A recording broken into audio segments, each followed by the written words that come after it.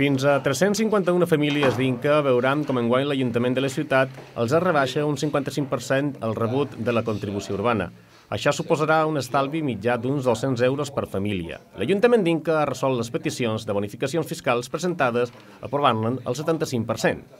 El que té més pagui més i el que té menys pagui menys. O sigui que les persones, les famílies que econòmicament són desfavorides tinguin aquests avantatges i aquells que poden pagar, que tenen la sort de tenir un bons ingressos, un bon empleo, eh, uns bons emoluments, una economia familiar saneada, pues siguin els que, eh, de qualque manera, la restribució sigui més solidari des de l'equip de govern es manté que amb l'actual política de bonificacions fiscals l'Ajuntament que intenta aplicar la primícia solidària de que pagui manco impost qui manco té. Ara mateix hi ha aprovat mig centenar de bonificacions fiscals de diferents tipus. L'equip de govern de l'Ajuntament d'Inca reitera la seva intenció de congelar els imposts i taxes municipals en vistes al proper any per tal de no castigar més les economies familiars en aquests moments de dificultats econòmiques.